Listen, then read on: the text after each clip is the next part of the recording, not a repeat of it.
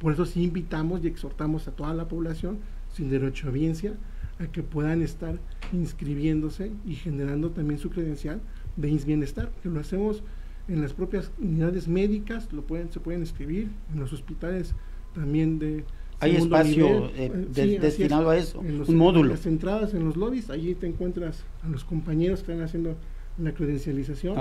También, también desde lo que es la delegación de programas para el bienestar, también, también nos están apoyando en hacer este proceso de, de credencialización.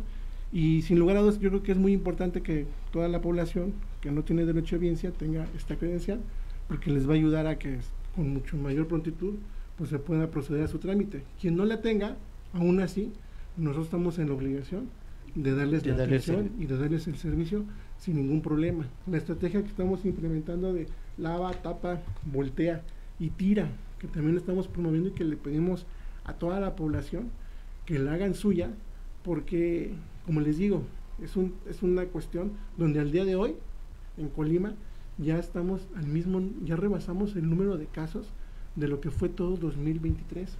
Hay un serotipo en particular que está en este momento circulando. Hay cuatro serotipos conocidos.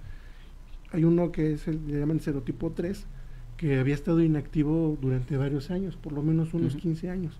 Y el año anterior fue cuando nuestro sistema de vigilancia epidemiológica detectó de nuevo su presencia. Y es el que ahorita nos preocupa más a nosotros, que no se propague, que no se extienda, porque sí es un, es un, es un serotipo altamente, ¿cómo les puedo decir? Dengue hemorrágico, pero que te puede llevar quizás a una hospitalización. No en automático como un dengue hemorrágico, pero sigue un porcentaje más alto de, gente que puede eh, agravarse su enfermedad.